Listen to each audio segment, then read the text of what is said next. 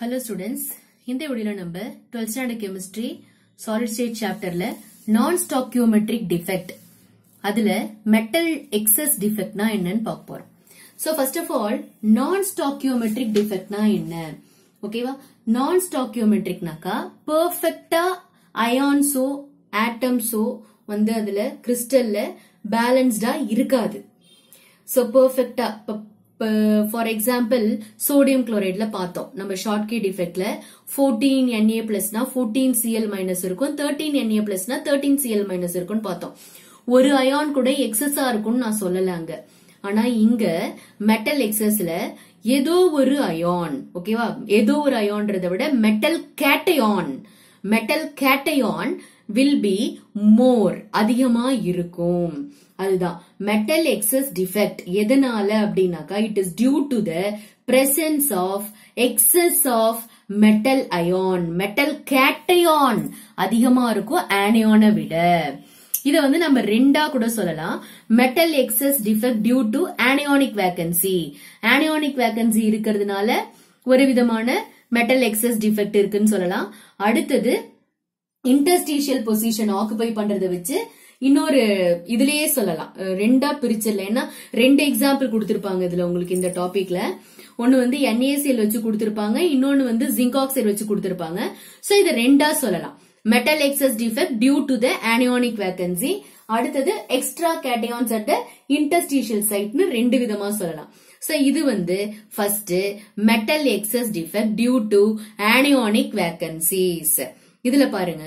Example sodium chloride நான் எடுத்திருக்கிறேன். ரொம்ப இன்ட்ரெஸ்டிங்கான டாபிக் இது. சோடியம் குளோரைட் நான் எடுத்திருக்கிறேன். இது வந்து டிஃபெக்ட் இல்லாத சோடியம் குளோரைட் இப்படி இருக்கு. ஓகேவா டிஃபெக்ட் இல்லாத சோடியம் குளோரைடு இப்படி இருக்கு. என்ஏ பிளஸ் சிஎல் மைனஸ் இருக்கு. இதுல பாருங்க. எத்தனை என்ஏ பிளஸ் இருக்கு? எத்தனை NA plus one two three four five six seven eight nine ten eleven twelve இருக்கா? One two three four five six seven eight nine ten eleven twelve இருக்கு. So NA plus எனக்கு எத்தனை இருக்கு? Twelve இருக்கு. CL minus இங்க எத்தனை இருக்கு? One two three four five six seven eight nine ten eleven twelve இருக்கு. சோ எனக்கு இப்ப கரெக்டா ஓகேவா டுவெல் டுவெல் ரேஷியோ இருக்கு. சோ சார்ஜும் வந்து பாத்தீங்கன்னாக்கா plus twelve charge minus twelve charge இருக்கு. சோ ஜீரோ வந்ததுனாக்கா நம்மளுக்கு எலக்ட்ரிக்கல் நியூட்ரிலிட்டி இங்க மெயின்டைன்ட் ஆகுது. இது டிஃபெக்ட் இல்லாத கிறிஸ்டல் ஓகேவா இப்ப பாருங்க. இதுல இந்த கிறிஸ்டல்ல என்ஏ பிளஸ் வேப்பர் அதாவது சோடியம் வேப்பர் இந்த கிறிஸ்டல் மேல பாஸ் பண்ணி ஹீட் பண்ணும் பொழுது என்ன ஆகும்னா அந்த கிறிஸ்டல்ல சோடியம் வேப்பர் டெபாசிட் ஆகும். அதாவது சோடியம் வேப் சோடியம் அயான்ஸோட தானே நம்ம ஹீட் பண்றோம்.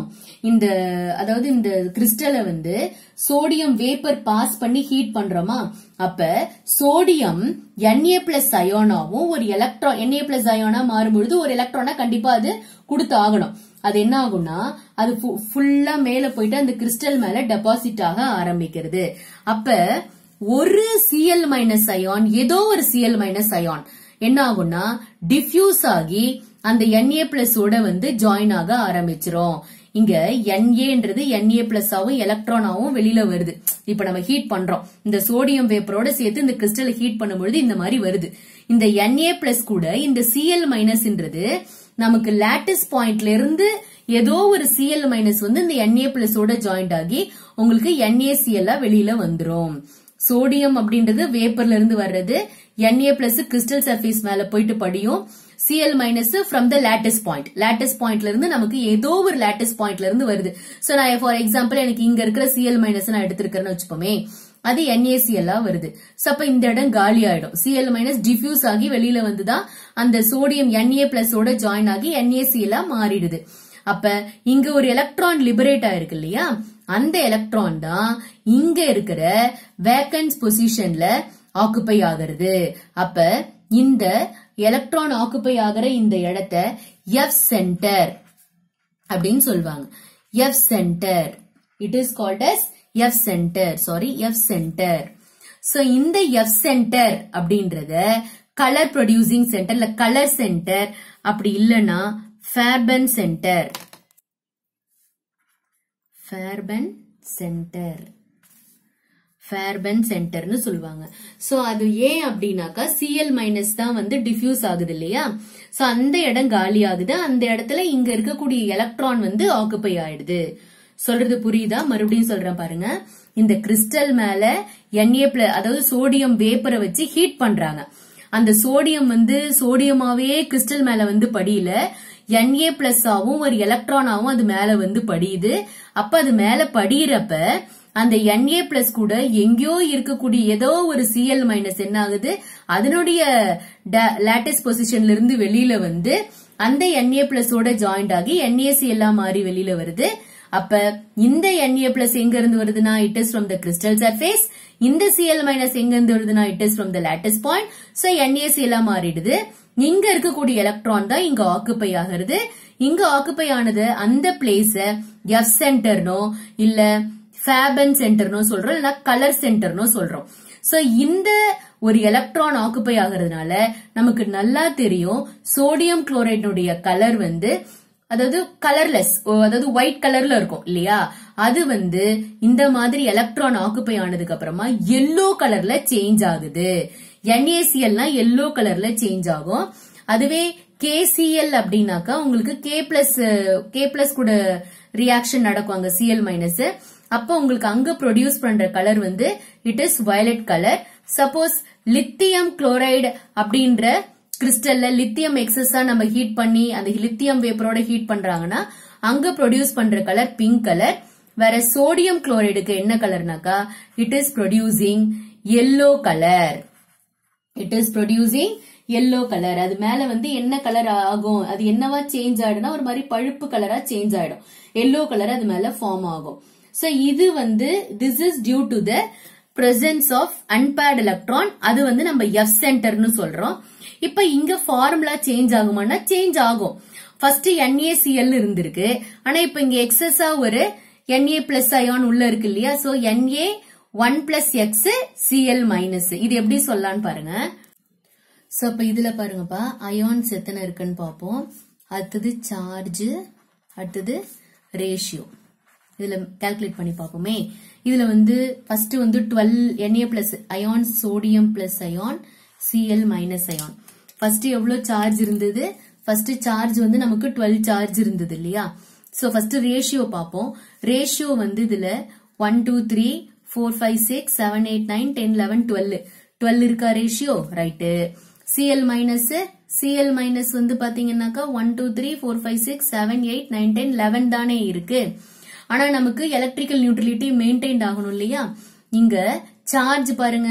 பிளஸ் டுவெல் சார்ஜ் இருக்கு. ஏன்னா பிளஸ் மட்டும் கவுண்ட் பண்ணீங்கன்னா பிளஸ் டுவெல் சார்ஜ் மைனஸ் மட்டும் கவுண்ட் பண்ணீங்கன்னா இதுவும் மைனஸ் தான். எலக்ட்ரானா இருந்தாலும் அதுவும் மைனஸ் சார்ஜ் தான்.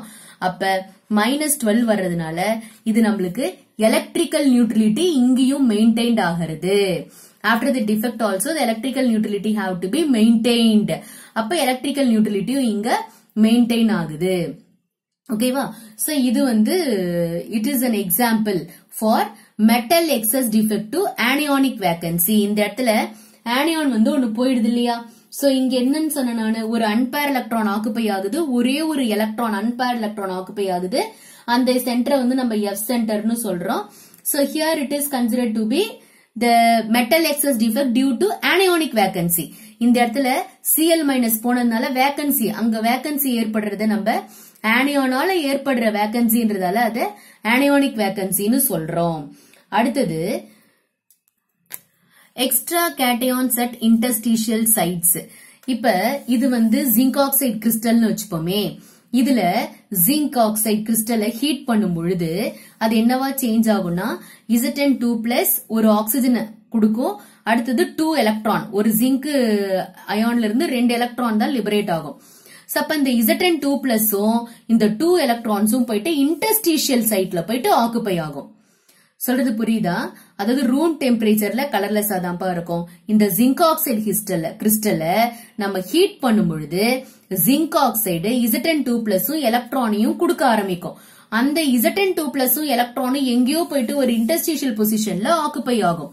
அப்ப என்ன ஆகும்னாக்கா here you'll be having the change of colour first வந்து ரூம் டெம்பரேச்சர்ல இருக்கிறது.